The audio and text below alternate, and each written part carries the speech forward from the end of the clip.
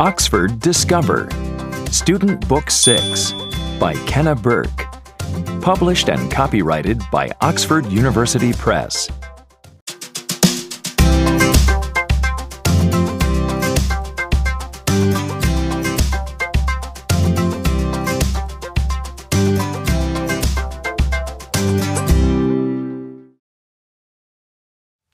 Hi there.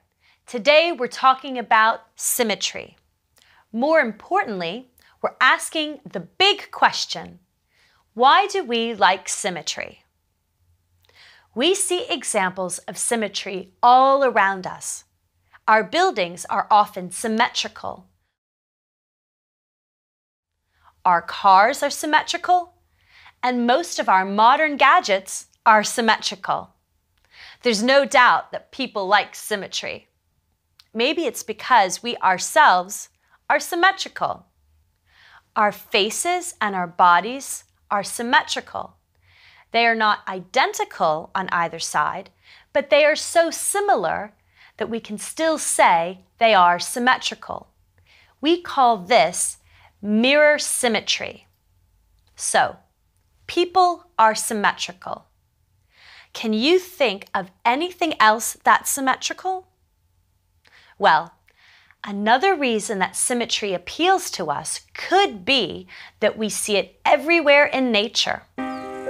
Like humans, most animals are symmetrical. The butterfly is one example of an animal that has mirror symmetry. Butterflies have beautiful patterns on their wings, and each wing is the same. But we can see mirror symmetry and lots of other animals too.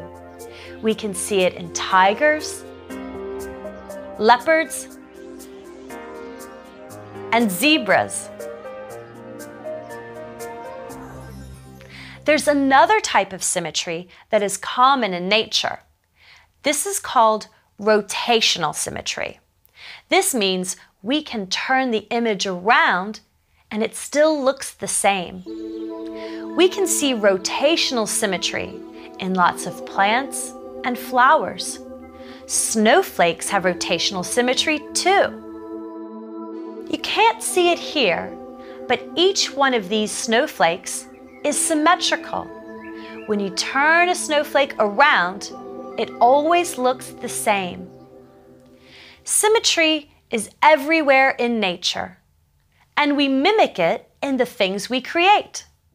Most of our famous buildings are symmetrical, and this is nothing new. People have always built this way because it's efficient, practical, and aesthetically appealing.